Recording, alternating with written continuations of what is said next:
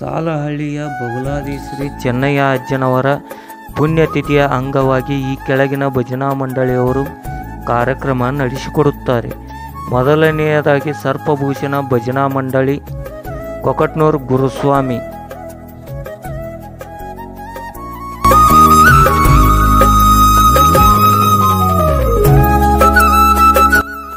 ಎರಡನೆಯದಾಗಿ ಮಾಧವಾನಂದ ಭಜನಾ ಮಂಡಳಿ, ತೋಳಮಟ್ಟಿ ಶೇಖರ್. ಈ ಎರಡು ಭಜನಾ ಮಂಡಳಿಯವರು ಗುರುವಾರ ದಿನಾಂಕ ಇಪ್ಪತ್ತಾರು ಹತ್ತು ಎರಡು ಸಾವಿರದ ಇಪ್ಪತ್ತ್ಮೂರರಂದು ರಾತ್ರಿ ಹತ್ತರಿಂದ ಬೆಳಗಿನ ಜಾವ ಐದು ಗಂಟೆಯವರೆಗೆ ಕಾರ್ಯಕ್ರಮವನ್ನು ನಡೆಸಿಕೊಡುತ್ತಾರೆ.